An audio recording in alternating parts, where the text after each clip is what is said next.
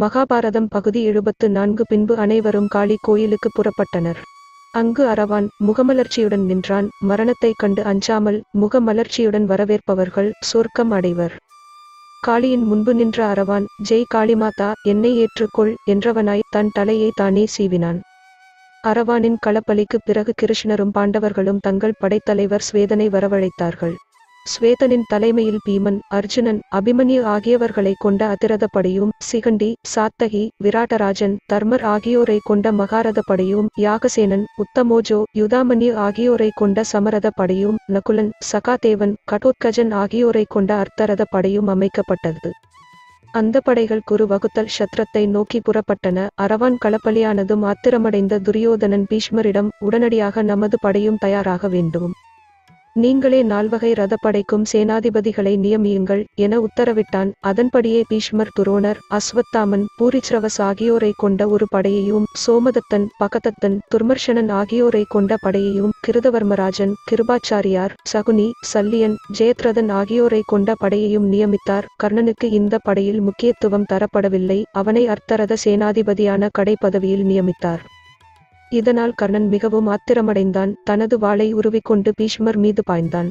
என்னை கடைப்பதவியில் நியமித்த உம்மை கொன்றால்தான் என் மனம் மாறும் எனச் சொன்னவன் என்ன காரணத்தாலோ வாளை மீண்டும் உரையில் போட்டுவிட்டான். பின்னர் இந்த யுத்தத்தில் எக்காரணம் கொண்டும் நீர் இறக்கும் வரை நான் ஆயுதத்தை தொடமாட்டேன் என சபதம் செய்துவிட்டு அகன்றான். கௌரவ படைக்கு இது மிகவும் பின்னடைவாக அமைந்தது. கர்ணன் போன்ற வீரர்களின் கையில் ஆயுதங்கள் இருக்குமானால் பாண்டவர் படையில் கடும் சேதத்தை ஏற்படுத்த முடியும். ஆனால் தர்மத்திற்கு எதிராக தொடுக்கப்பட்ட இந்த போரில் துரியோதனன் பின்னடைவை சந்திக்க இது இயற்கையாகவே அமைந்துவிட்டது. இரண்டு படைகளும் எதிரெதிரே நின்றன. அப்போது துரியோதனன் பீஷ்மரிடம் தாத்தா பாண்டவர்களின் படையும் மிகப்பெரிய அளவில்தான் இருக்கிறது. இந்த படையை அழிக்க உங்களுக்கு எத்தனை நாள் வேண்டும்? என கேட்டான். பீஷ்மர் மிகுந்த தைரியத்துடன் நானாக இருந்தால் இந்த சேனைகளை ஒரே நாளில் அழித்து விடுவேன். துரோணருக்கு மூன்று நாட்களும் கர்ணனுக்கு ஐந்து நாட்களும் வேண்டும். அஸ்வத்தாமன் ஒரே நாழிகையில் இருபத்து நான்கு நிமிடம் அழித்து விடுவான். ஆனால் இதே அளவுள்ள நமது படையை அழிப்பதற்கு அர்ஜுனனுக்கு ஒரு கண நேரம் போதும் என்றார். இந்த நேரத்தில் அர்ஜுனனின் மனதில் கலக்கம் உண்டாயிற்று. தன் எதிரே தனது குரு பீஷ்மர் துரோணர் கிருபாச்சாரியார் அஸ்வத்தாமன் முதலிய பெரியவர்களை பார்த்தான். துரியோதனன் உள்ளிட்ட எதிரிகள் கூட உறவினர்களாகத்தான் அவன் கண்ணில் தெரிந்தார்கள். அந்த உறவுகளை எல்லாம் அழித்துதான் நாட்டை மீட்க வேண்டுமா?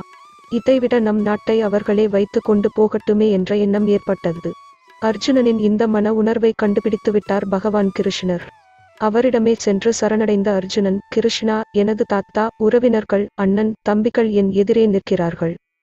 இவர்களை எல்லாம் நான் கொல்ல வேண்டும் என்பது என்ன கட்டாயம்? அப்படி கொன்றாலும் எனக்கு என்ன கிடைத்துவிடும்? கேவலமான இந்த பூமிக்காக இந்த சண்டை அவசியம்தானா அது மட்டுமல்ல இப்போது கூட எங்கள் ராஜ்யம் என் சகோதரர்களின் கையில் தானே இருக்கிறது. யாரிடம் இருந்தால் என்ன? அவர்களை கொல்வது கொடிய பாவம் என்று எண்ணுகிறேன். எனவே நான் இந்த போர்க்களத்திலிருந்து வெளியேறப் போகிறேன் என்று சொல்லியபடியே அங்கிருந்து புறப்பட்டான்.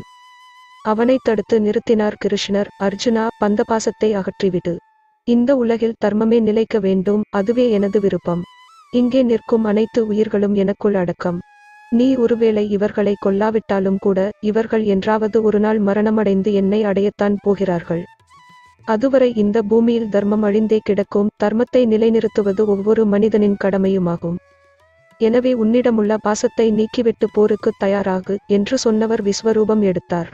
அந்த ரூபத்திற்குள் களத்தில் நின்ற அத்தனை வீரர்களும் தெரிந்தார்கள் என்றேனும் ஒருநாள் இறைவனை அடைந்துதான் தீர வேண்டும் என்ற ஞான உபதேசத்தை பெற்ற அர்ஜுனன் மனமயக்கம் நீங்கி போருக்கு தயாரானான். அத்துடன் தனது குற்றங்களை மன்னிக்க வேண்டும் என்றும் கிருஷ்ணரிடம் வேண்டிக் கொண்டான். இந்த நேரத்தில் பகவான் கிருஷ்ணர் அர்ஜுனனிடம் ஒரு கேள்வி கேட்டார் அர்ஜுனா நீ இங்கு நிற்கும் படை வீரர்களில் ஒருவர் கூட விடாமல் அழித்து விடலாம் என எண்ணுகிறாயா? என்றார்.